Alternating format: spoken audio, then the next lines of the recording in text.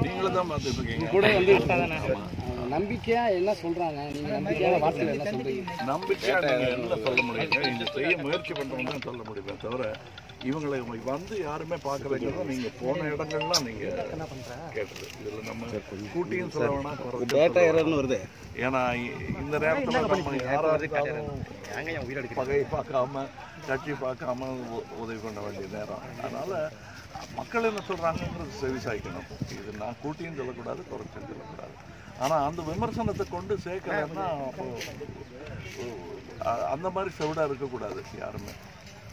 அமைச்சர் உதயகுமார் சொல்லியிருக்காரு. கமல் வந்து சினிமா கிளைமேக்ஸ் மாதிரியே உடனே எல்லாம் நடக்கணும்னு பேசுறாரு. பக்குவம் எல்லாம் கட்சிக்கும் ஆட்சிக்கும் வர்றதுக்கு முன்னாடில இருந்து நல்ல தலைவர்களை பார்த்து மைக் எவ்வளவு வேகமா வேலை செய்ய முடியுங்கிறதும் பார்த்துருக்கோம்.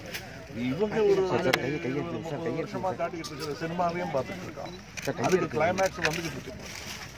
அது வேற கிளைமேக்ஸ் அதை அஹ், அவர் கவலைப்படட்டும். இப்போ நாங்க கேட்குறது மூணு மணி நேரம் கிளைமேக்ஸ் இல்லை. இது எட்டு வருஷம் ஆகும் இந்த இது- இந்த கிளைமேக்ஸ் இது எங்களுக்கு தெரியும். அதனால அவர் வந்து எங்களுக்கு திரைக்கதை எழுதி கொடுக்குறோம் எங்களுக்கு தெரியும்.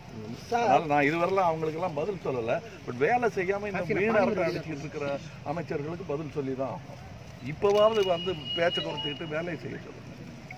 இதுதான் மக்களுடைய வேண்டுகோள். என்னுடைய வேண்டுகோள். விஷால் ஒரு கெண்டாவோட ஒரு இதை திட்டத்திருக்காரு காசாக இருக்கிற மாதிரி உங்களுக்கு ஒரு வாய்ப்புகள் அப்படின்னு கண்டிப்பாக இருக்குது நாங்கள் ஏற்கனவே எட்டு கிராமங்கள் தத்து எடுத்துருக்கோம். ஆனால் என்னங்க த- தனி ஒரு கட்சி வந்து எவ்வளவுதான் தாக்கு பிடிக்க முடியும்?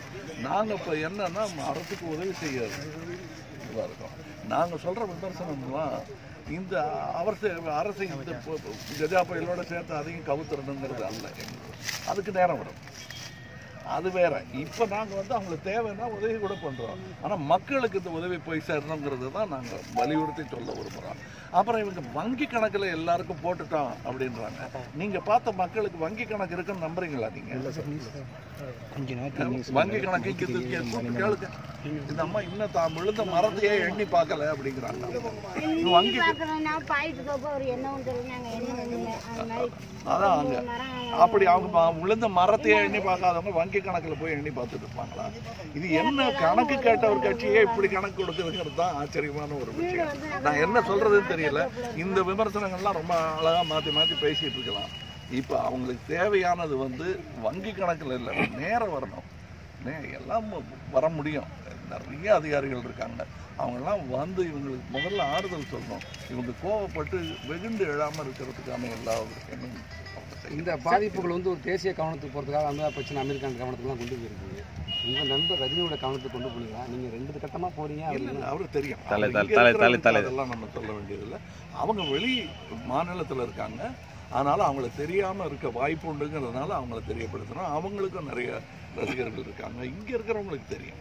இங்க யார் வந்திருந்தாலும் அவங்களுக்கு தெரியும். தெரியாதுன்னுலாம் யாரும் சொல்லிட முடியாது. சார் இப்போ பதினஞ்சாயிரம் கோடி இழப்புன்னு சொல்லி தமிழக அரசு அறிவிச்சிருக்காங்க ஆனா மத்திய அரசு வந்து வெறும் இருநூறு கோடி மட்டும் தான் நிதி ஒதுக்கிறது இது போதுமானதா இருக்குமா சார்? மற்ற. நாங்களே முதல்ல வந்து ஒரு இருபது வேன் அனுப்பிச்சா போதும்னு நினச்சிக்கிட்டு இருந்தோம். இப்போ நாங்கள் இரநூறு அனுப்பிச்சாலும் போதாதுங்கிறத புரிஞ்சுக்கிட்டோம் நாங்கள் அது மாதிரி அவங்களும் புரிதலுக்கு வருவாங்கன்னா ரொம்ப சந்தோஷம். சார் இப்போ பிரதமர் வந்து ஒரு வார்த்தை கூட தமிழ்நாட்டு பக்கத்து மக்களை பற்றி பண்ணல ஒன்று கூட அடுத்த வாரத்தில் நீங்கள் என்னைக்கு சார் அது சொல்லங்க வர வருத்தத்துக்குரிய விஷயம் தான் தமிழில் பேசணும்னு எதிர்பார்க்கல நம்ம. ஆனால் அட்லீஸ்ட் நமக்கு ஆதரவாக ஒரு வார்த்தை சொல்லியிருக்கலாங்கிறது தான் எங்களுடைய வேண்டுகோள். இனியும் பேசுவார் என்று நம்புவோமா பேசலைன்னா அது ஒரு காலம் வரும் பேசுறது. சார் நிவாரண பணிகளில் வந்து தமிழக அரசுடைய இது வந்து குறைபாடாக இருக்கான்னு பார்த்துன்னு சொல்கிறாங்க சார். நீங்கள் பார்த்ததுல எப்படி சார் தெரியுது குறை நான் பார்த்து நான் நான் சொல்லிட்டு இருக்க வேண்டிய அவசியம் வந்தது தான் பெரிய ஒரு சோகமே. இது இந்நேரம் அவங்க வந்திருக்கணும். பதினஞ்சு நாள் ஆச்சு. இன்னும் போன இடங்கள்லாம் யாரும் வரல யாரும் வரலங்கிற கூக்குரல் தான் நமக்கு கேட்டுக்கிட்டே இருக்கு. வந்தா ஒருத்தர் வராங்க வந்து பார்த்துட்டு போயிடுறாங்க. ஆனால் ஒன்றும் செய்ய யாருமே வந்து பார்க்கல.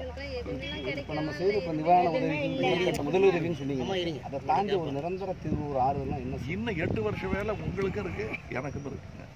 இவங்களை க- தூக்கி நிறுத்தணும்னா நீங்கள் இதை பார்த்தீங்க இதை இப்படி தூக்கி நிறுத்துறதுங்கிறது எல்லா தன்னவரையும் தூக்கி நின்றுடாது ஒரு- ஒரு செய்யலாம் ரெண்டு விஞ்ஞானம் செய்யலாம். இந்த இத்தனை லட்சம் ஏக்கருக்கு யார் என்ன செய்ய முடியும்? அந்த மனநிலை இருக்கு அவங்களுக்கு. இவங்களுடைய வாழ்வாதாரத்தை தூக்கி நிறுத்துறதுக்கு என்ன பண்ணணும்? ஒன்றும் இல்லைங்க இங்கே பக்கத்தில் எத்தனையோ ரிசர்ச் சென்டர்ஸ் இருக்கு. அங்கே இருக்கிறவங்க வந்து பார்க்கலைங்கிற முதற்கொண்டு குறை சொல்லிட்டு இருக்காங்க. நான் வந்து வெறும் அமைச்சர்களை மட்டுமே குறை சொல்லிட்டு இருக்கேங்கிறது. நாம் எல்லாருமே கொஞ்சம் துரித நடையில் இதை செயல்படுத்தணும். ஊடகங்களுக்கும் சரி. நான் யாரையும் இப்போ விமர்சனம் பண்ணுறதுக்கு நேரம் இருக்கணும் அப்புறம் பண்ணிக்கலாம் அதெல்லாம் மின்வாரி ஊழியர்களுடைய பணிகள் மின்வாரி ஊழியர்களுடைய பணிகளை அவங்களெல்லாம் பார்த்துருக்கேன் இப்போ நம்ம கண்ணு தெரியறது நீங்கள் வந்தபோது காவல்துறை இருக்காங்க மின்வாரியம் இருக்குது டிரான்ஸ்போர்ட் ஒழுங்காக போயிட்டு அது போது அதுங்கிறது தமிழக விவசாயிகளுக்கு சார் இன்சூரன்ஸ் போடுறாங்க நேற்றோட டைம் முடிஞ்சிருச்சு. எந்த பகுதியும் கரண்ட் இல்லை. அது இன்சூரன்ஸ் வந்து டயத்தோட பயிர் காப்பீடு வந்து டயத்தோட செலுத்த முடியல. செலுத்த முடியலைங்கிற கடன் வசூலிக்கிற நேரம் இது இல்லைங்க. அது கொடூரமான ஒரு விஷயமா இருக்கும். இது வந்து லோன் வேவரை பத்தி தீவிரமாக சிந்திக்க வேண்டிய நேரம் இது. அவர்களுக்கு இன்னும் மேலும் வாழ்வாதாரத்தை மீட்டுக் கொடுக்க என்னென்ன உதவிகள் செய்ய முடியுமோ என்ஜிஓஸ் பார்த்துக்காங்கன்னு அரசு விட முடியாது. இதையும் தாண்டி நாம் செய்ய வேண்டிய நேரம் வந்துருச்சு. ஊடகங்களுக்கும் அதை நினைவுபடுத்த நான் கடமை தொடர்ந்து இது போல் வீடியோஸ் பார்க்குறதுக்கு கீழே இருக்க சப்ஸ்கிரைப் பட்டனை கிளிக் பண்ணுங்கள்